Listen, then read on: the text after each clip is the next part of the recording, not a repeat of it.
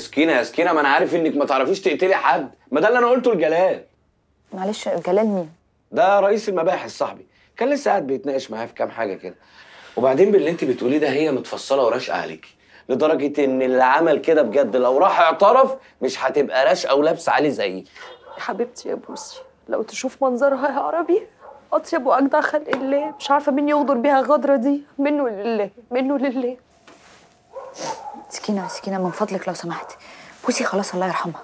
ركزي معايا دلوقتي. خلينا في اللي إحنا جايين عشانه. ممكن تقولي للاستاذ عربي إحنا جايين ليه؟ أستاذ عربي فين؟ أستاذ عربي ده انت اقعد. عارف لو ما ظبطتش وركزت هعمل فيك اللي كنت بعمله فيك وانت صغير في الصنداره بلاش الصندرة والنبي يا سكينة. سكينة. نعم. هو انت كنت بتعملي فيه وهو صغير؟ وانت بالك انت امور عائليه دخلت فيها دي. طب سكينة سكينة. الصندرة دي مكان؟ في جسم البني آدم.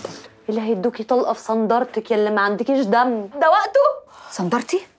تبقى حتة في جسم البني آدم يا قليلة الأدب. بقول لك إيه؟ إيه في إيه في إيه يا سكينة احمد بقى عايزينك تبقى علينا الساعة دي. عاملة 350 ألف جنيه. إيه الكذب ده 350000 جنيه يا أختي؟ أسود. ده اتخن ساعة على الرصيف ما تعملش 35 جنيه. ليه؟ هتروح المشاوير مكاني؟ يخرب بيت التخلف يا رب. عندك حق بقك ما بيغلطش. قولوا لي كلمة حلوة كلمة بيع وشراء بص انت عارضها لأعلى سعر. هو أنا أقول لك يا فندم. ما هي بتتكلم في الصح. هات لنا فيها أكبر رقم تعرف تجيبه فيها. أو دخلها في عربية جامبو راس براس بدل العربية بتاعت أبويا اللي خدها الوبا. ماشي. سكينة سكينة. قولي له كمان على موضوع البطايق. يا أختي انت مكسوفة تقولي بصوت عالي. واضرب لنا بطاقتين عشان نعرف نتعامل في الشوارع. سكينة انت قاعدة مع مين عشان تقولي يضرب لك بطايق؟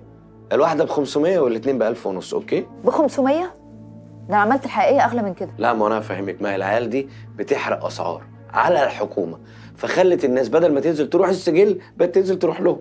لا بس أصحابك دول على فكرة دارسين marketing كويس قوي على فكرة. دارس أنت بقى السوبر ماركت ده كويس؟ هوا ده تحت البيت هجيب لك اللي أنت عايزاه. يا متخلفين متخلفين